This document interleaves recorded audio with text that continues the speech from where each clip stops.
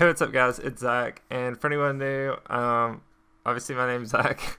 um, I'm a designer and illustrator based out of Tampa, Florida. Uh, I make quite a bit of just personal pieces. This is one of those. Um, it's not a commission or anything. It's not something super serious. Um, just kind of having fun. I spend honestly way too much time on it. This video is gonna be stupid long because I was working on it on stream. Shameless plug. Twitch TV backslash Z counts. Um, the I was working on a stream, so I ended up just working on it forever because I wanted it to be really good. But it it turns out like I like the way it turned out, but I just spent way too much time. So the video is going to be pretty long. Um, I don't have a ton to say as far as just like specific things go sometimes because you can only you know explain the pen tool so many different ways before it's just kind of like yeah we get it you're using the pen tool um, but yeah so this is actually a drawing that i think i started in like November or something, and for reference now it's March. Um, so yeah, it just set in a folder for super long time, and I didn't know what I was gonna do with it. I thought it was um, just gonna get thrown away. Like I've end up just taking half finished ideas a lot of times and throwing them in a folder and then forgetting, and then they just fall into the abyss of never getting finished. it's just kind of like a, the sketchbook. Like once I'm done, kind of working on something, it's just kind of done. Um, so yeah, but yeah, if I don't talk about anything right, like correctly, or don't explain something correctly, um, just ask in the comments and I'll try to explain better again, or try to like at least hit on something if you um something you don't understand. Also, I know a lot of times it goes too fast, but um, I'm working most. I'd say the average piece is like five hours total because the nature of vector and just the way I work um, is pretty slow. But anyways, um, yeah. So I'm trying to find a, like the right speed where you pick up what's going on, but it's also palatable to watch for you know ten or fifteen minutes or whatever it turns out to be. Uh, so yeah, I guess with this piece specifically, I end up doing quite a bit of the um, kind of drip effect.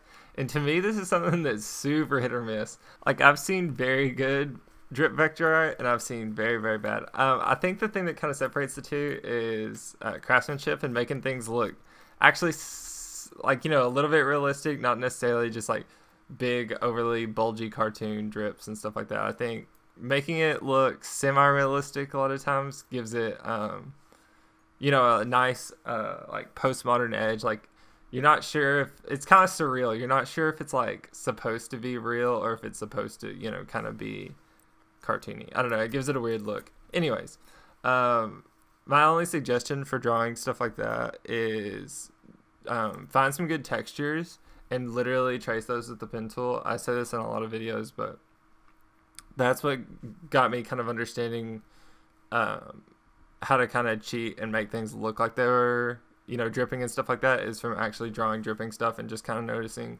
a few little patterns and stuff like that. And also just kind of like over uh, exaggerating gravity with a lot of the drips, like just make them go down really far, and it looks, it's like wow, such drip. But yeah, it that really works actually.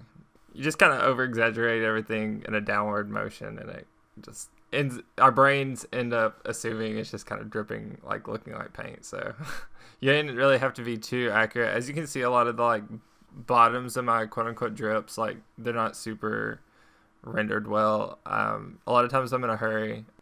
Um, but honestly, that's how I get a lot of happy accidents and my stuff. I just kind of go really fast and hope something good happens. It's kind of like this, like nothing good was happening. Honestly, but when I first made this, or when I'm working on it right now, I wasn't near as good. You can tell by the lines, like the lines are super shaky. Um, you can tell later my lines are getting a lot thicker. I end up having to go back over a bunch of stuff, but that's just kind of like hindsight where I was able to look back months on a drawing and be like, man, those lines were not looking good. Um, so yeah, I should be switching pretty soon. I already knew what the font was. It's like Helvetica something. So I kind of put that in. I end up chopping it up a little bit later. Um, I try not to put very many logos or like you know business text or anything like that on my stuff, but uh, there's yeah there was a jump. Uh, I think there was like email notification on the corner of my screen, and it like just said who it was from, and it was a client. So I was like, eh, I should probably not show that. Anyways, um, so yeah, right here I'm kind of experimenting with the background, and these are one of those things that I never know if I should cut out of the video, um, or not because I if you've seen the thumbnail for the video, obviously you know that the final piece does not look like have a bright, you know, striped orange background. It changes a lot. Um, obviously, I got a very different vibe when I came back to it um, later. I was honestly a lot. I've just gotten a lot better to practice. Um, also gotten a lot faster. Honestly, this shouldn't have taken this long. And if I'd have drawn all the lines right first, we'd be having like a seven minute video instead of like whatever, 15 minute video. But it's whatever. um, you can see I don't really know what I'm doing right now. I'm kind of just like doing little things. Once again, I left it in because I like this is where I'm getting frustrated. I didn't know what I was gonna do, and then obviously I came back. This is months later. I came back with a different vibe. I already had some stuff put in that I just like. It came to me in an idea as far as like when as soon as I saw this piece in the folder, I was like, oh, I can combine it with some other stuff I'm doing right now so this is where the piece kind of starts to take shape um, because I actually kind of know what I'm doing at this point. Like I have some ideas. Uh, I know I want the hill to look like it's driven down. I kind of know how I want the background. I know I want these buttons to look all I don't know melting from the center. Um, so yeah, th- like I said, this is where it starts to come together. But this is also where um, things start to get a little repetitive for me. Um, personally watching it because it's just a lot of the details over and over. Um, a lot of it is just me drawing squiggly lines, you know, just for way too long. Um, like I said, spent way too long on this. I think the total time is like five hours or something like that. And that's normally what it takes me to do a portrait. Normally for the shoe illustration, um, it takes about, I say three, maybe four. Um, it depends how well I already know what I'm doing. Um, yeah, so this taking like five is definitely too long. But yeah, like I said, getting into the details. Um, lots of pen tool, um, as you can see, just lots of points going around stuff, kind of creating lines on the bottom of stuff. Um, this is my once a piece blend tool. Um, I feel the need to use it once per piece, uh, and that's not even real. It just seems like that's always what happens. The air conditioner kicks on. Audio is going to be terrible, but whatever. Um, feels like I use the blend tool once per piece. Um, the idea here is I created a triangle, blended it across or whatever, and then I duplicated that blend and then cut it away from the first one. So I kind of messed up, but it's whatever. Um, that you can really go crazy with the blend tool like that and with that cross hatching type shading.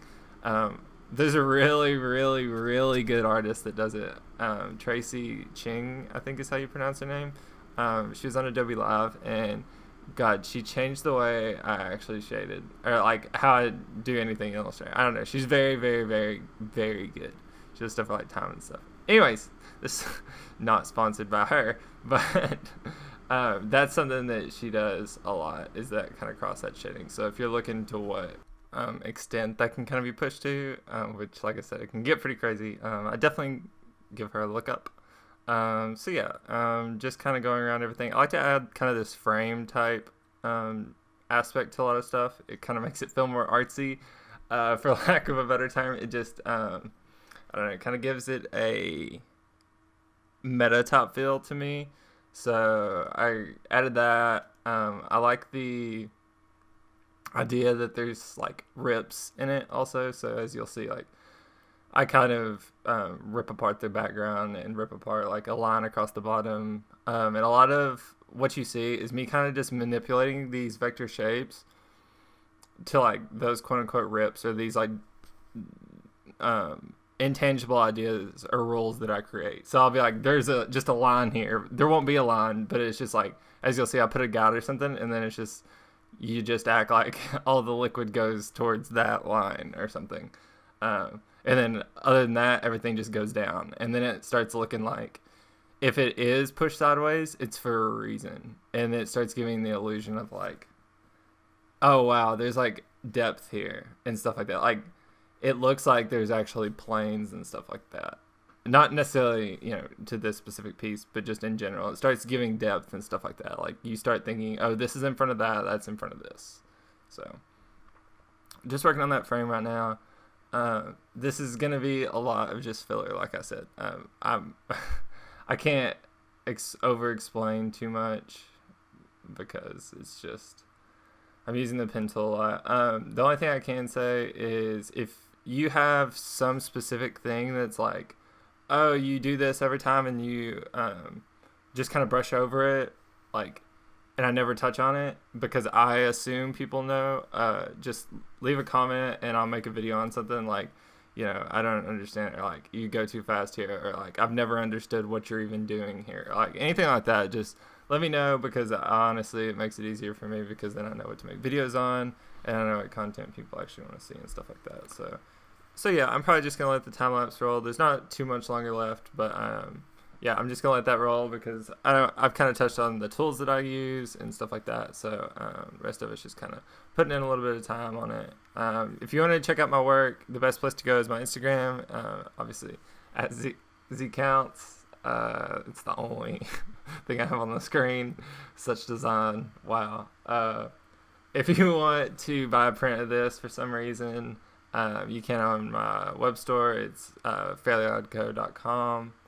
And what else? Oh, I guess you can sub to me on Patreon if you want. Um, I do just a little bit more content over there, and I do some like design templates and stuff like that. A lot of my textures, um, some of my glitch stuff. I do just you know a little bit of that, all that over there. Um, but yeah, thanks for checking out the video. Um, I'm gonna play some music that I made the other day, and yeah, have a good one.